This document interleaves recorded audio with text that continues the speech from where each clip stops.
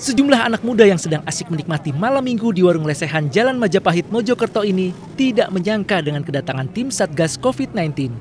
Jumlah pengunjung warung lesehan yang membludak menjelang sahur membuat tim Satgas harus menyisir satu persatu warung dengan mobil pengeras suara untuk membubarkan kerumunan.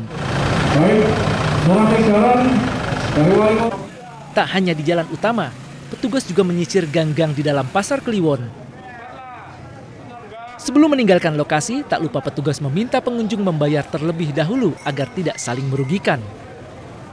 Sedangkan pengunjung yang kedapatan tidak memakai masker mendapat sanksi denda dan kartu identitasnya disita. Kami dari aparat gabungan, TNI, Polri, dan pemerintah daerah melihat beberapa jalan raya di Kota Mojokerto, jalan protokol yang banyak sekali kerumunan karena di sana banyak para penjual makanan dan menggelar resehan uh, dari laporan masyarakat akhirnya malam ini kita bubarkan